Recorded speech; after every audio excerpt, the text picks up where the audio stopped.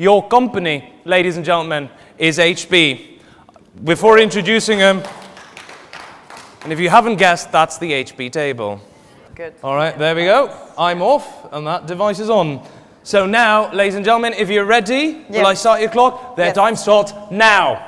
Good evening, my name is Marie-Ève. I'm the marketing manager for HP Middle East, and I'm introducing you to the Sprout. Sprout can do a lot of things, but tonight I'm showing you only one thing, which is a 3D scanning with manipulation. So for sake of time, I've pre-scanned my hand, and I'm basically gonna push it on my uh, work mat.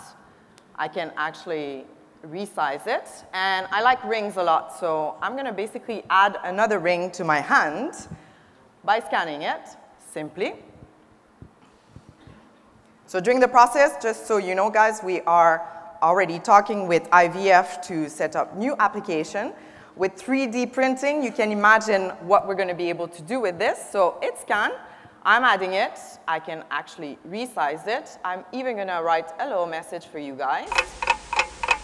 And if you want to know more about the Sprout, please come visit HP at our hospitality room. Thank you.